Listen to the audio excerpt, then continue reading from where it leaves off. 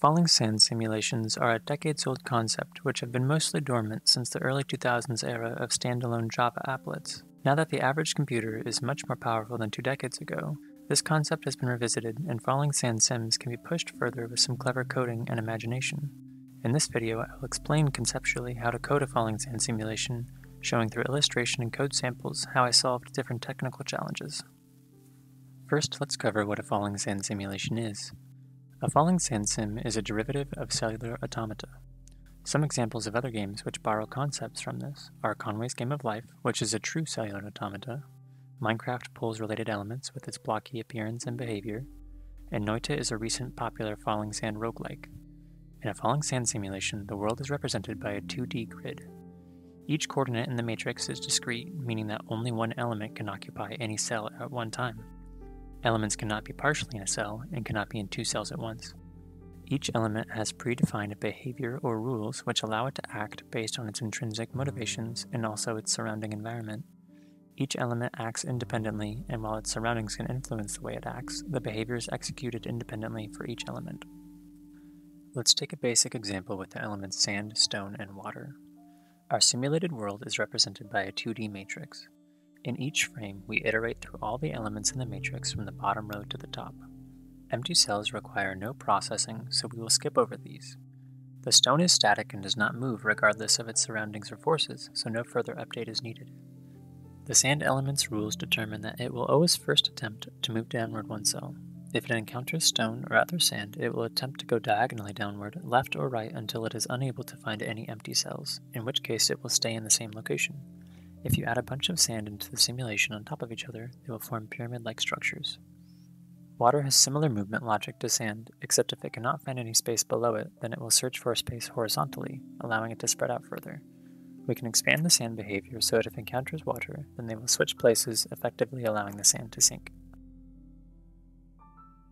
Now that we have discussed a basic scenario, I'll explain how to structure this in code. The 2D matrix is stored as a 2D array, or an array of arrays. I have created a wrapper class around this matrix which handles setup and mediates any interactions with the inner 2D array. Since the matrix is modified in place each frame, by limiting the avenues through which the inner array can be accessed, we can avoid unexpected or harder to trace issues as the complexity of the simulation increases. For example, standardizing the way elements swap cells reduces repeated code and makes debugging easier. I structured my element classes in the following hierarchy. There is a base abstract element class, which has subclasses for liquid, gas, and solids, which then has further subclasses for movable solids, such as sand, and immovable solids, such as stone. This structure allows you to place method definitions common to all types of elements in the highest applicable abstraction, and this also allows you to override these methods in subclasses for customizable behavior.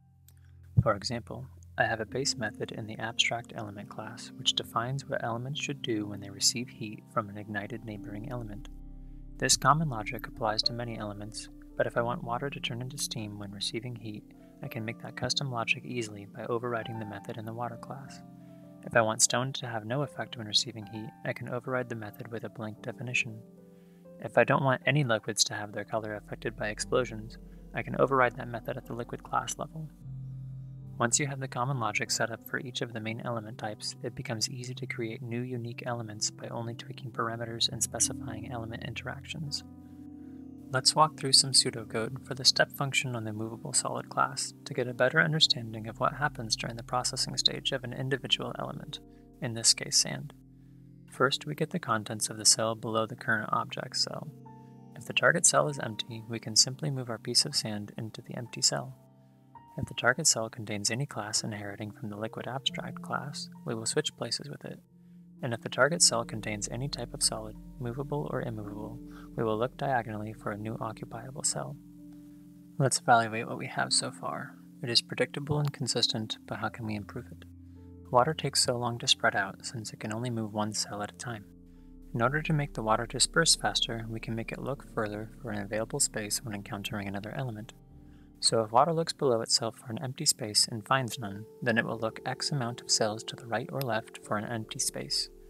Let's make this a variable and store it at class level so different liquids can have different dispersal rates. If the water simply looks five places to the left or right and occupies the empty space it finds there, then it will effectively teleport and bypass any elements in between.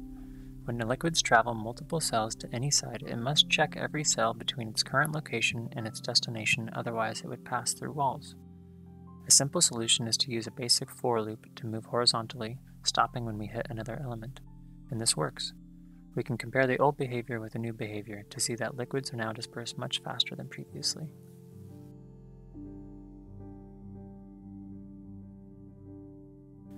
We can apply this same concept vertically by adding gravity to the simulation and tracking an element's velocity with a 2D vector. This allows it to increase in speed and travel more than one cell per frame. Again, we want to check every cell along the way. But what if we wanted an element to have both non-zero x and y axis velocity? We can't just do a simple for loop or even a nested for loop. This raises the question, how can we travel between any two given cells in our 2D array following the shortest path? We can create a general purpose algorithm for this. It is generic enough that I use it for the user's drawing brush, elements traveling through the 2D array, particle movement, and for the center out explosion method I'll cover later. Fortunately, there already is an equation to find the slope of a line drawn between two points. The slope allows us to calculate the corresponding y values as x increases. We can use a for loop to iterate to the desired x value, since in this case x is the longer side. Each cell is discrete, so if the calculated y value is not a whole number, we will round up or down based on the first decimal place. We can step through this example, calculating the rounded y value for each x value, and filling in the corresponding cell.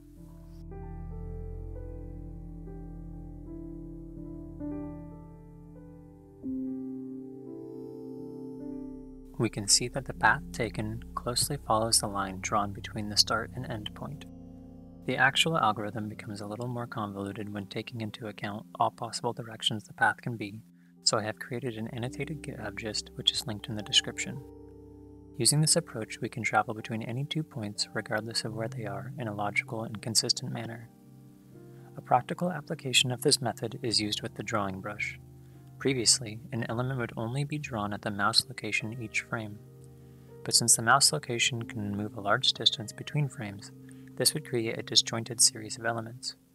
Using a large brush size and moving slowly would create connected elements, but with this matrix traversal algorithm, elements are drawn between drastically different mouse locations frame to frame in an expected and believable manner.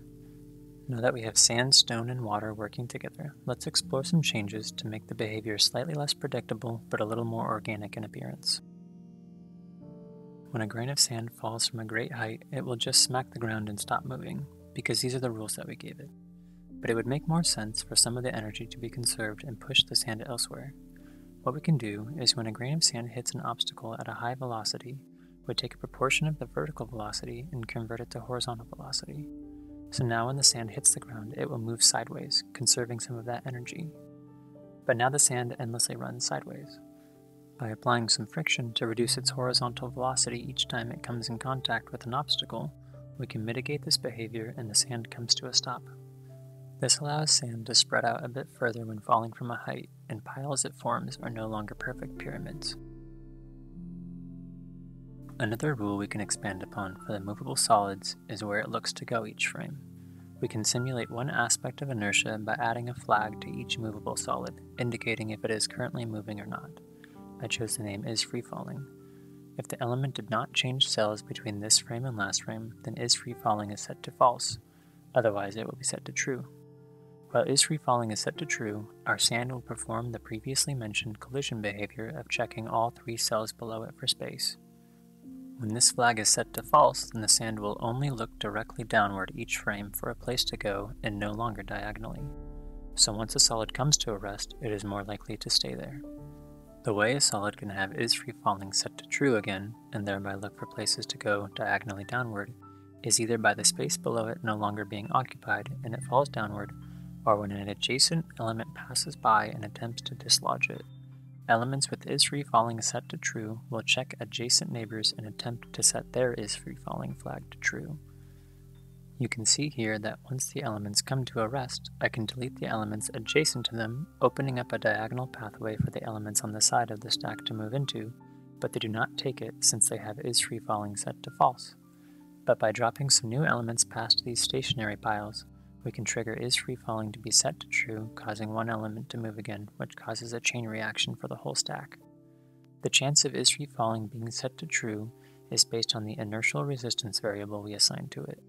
By adjusting the inertial resistance value, we can change how likely an element is to be set back to a free-falling state. We can compare the results side by side with the elements sand, dirt, and coal, each with different inertial resistance values. The higher the value, the harder it is for an element to have is free-falling set to true again. These two features combine to make more organic-looking stacks of elements and improve the way they look as they crumble. We can see the old behavior compared to the new here.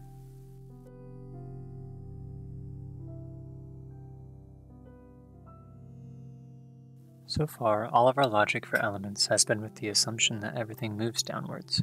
But what if we want to have sand flying around from explosions or water fountaining up from the ground? We can create a new element type called particle. This element will inherit from the abstract element class directly, and we can utilize the same matrix traversal function for movement that other elements use, but the particle element will have no interaction logic. If a particle hits any other type of element, it will replace itself with its contained element. So let's say a force is applied to a piece of sand, which would launch it into the air. We remove the element from the matrix and replace it with a particle of the same color, a reference to the element we just removed, and apply the force to the particle instead.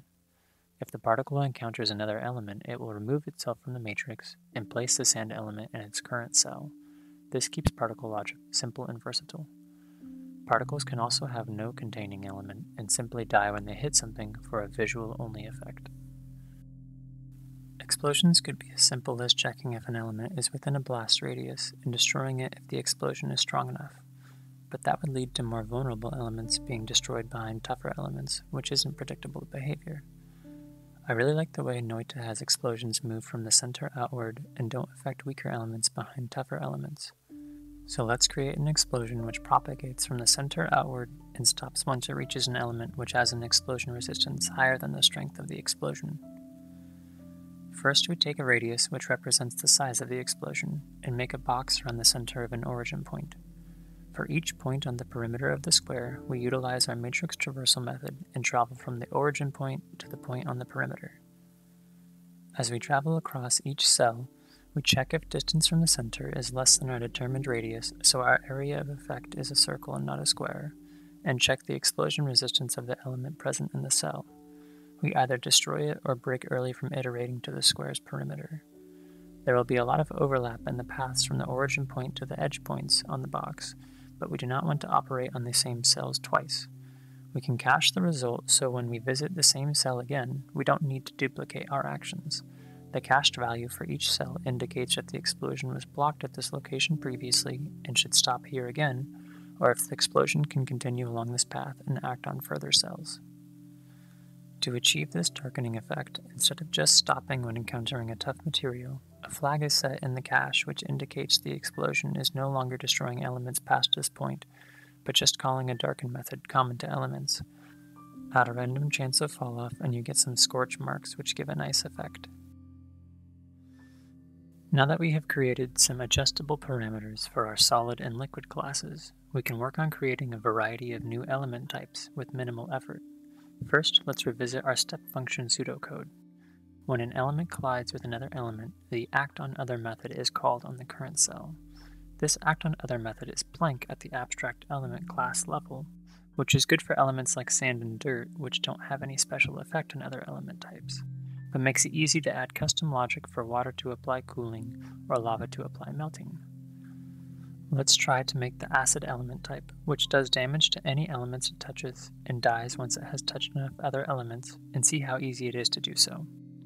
We need to have the acid class inherit from the liquid class, and then set some liquid-specific parameters such as density and dispersion rate. The method which acid will use to act on other elements will be called corrode. We make a default definition in the abstract element class, which means all element types will be affected by the corrode method.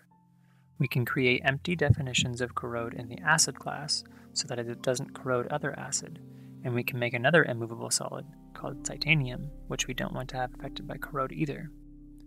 That's all we need to do, and now we have a fully functioning new element type. Now I'll show some other unique elements with their effects and the corresponding code required to make them work.